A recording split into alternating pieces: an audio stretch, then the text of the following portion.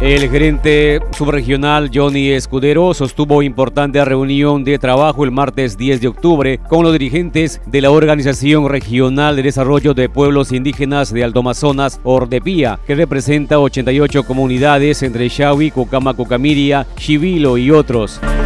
En la cita, el gerente presentó al responsable del área de asuntos indígenas, Juan Tapayuri, quien tiene la misión de trabajar estrechamente con los pueblos originarios, canalizando sus gestiones.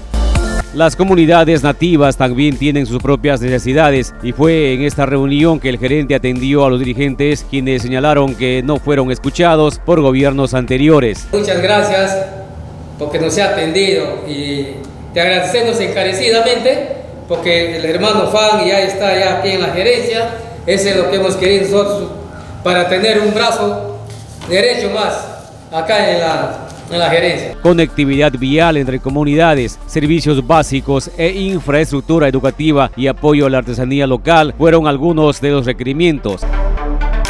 En ese contexto, el gerente anunció que enviará una comisión técnica a evaluar la reparación de un puente en la comunidad de Marona, Valle del Zapote, que da acceso a otras comunidades.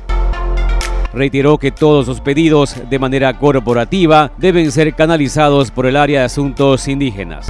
Al término de la reunión, una representante de la Asociación de Artesanos de Ordepía hizo entrega al gerente un abanico confeccionado por sus propias manos. Gobierno Regional de Loreto. Gestión de Servicio Social.